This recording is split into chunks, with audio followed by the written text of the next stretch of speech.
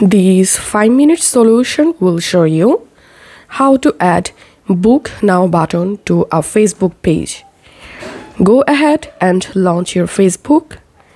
And now, if you're in your Facebook profile, then we need to switch to the Facebook page.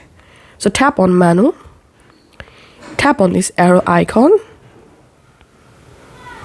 and here select the page where you want to add book now button. And now go to the page profile. And here tap on this three dot. And tap on view as. As you can see currently only like button is showing up in my facebook page. Now i'll add the book now button here. So after tapping on this three dot tap on add action button and tap on edit buttons. And now here you will get book now. Just select the book now button. And you can see it set up appointments. So tap on set up appointments or you can connect another tool from here.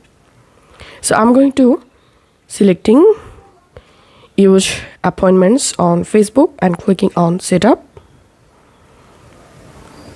and tap on edit services.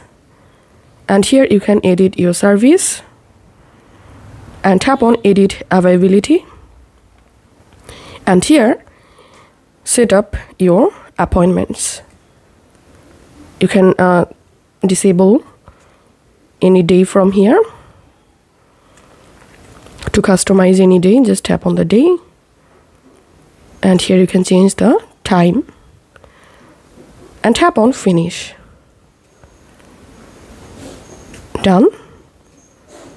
Save. And now let's view our page. And here we can see the book now button has been added. So this is how we can do it. If this video helped you out please leave a like and leave a comment down below. Thank you for watching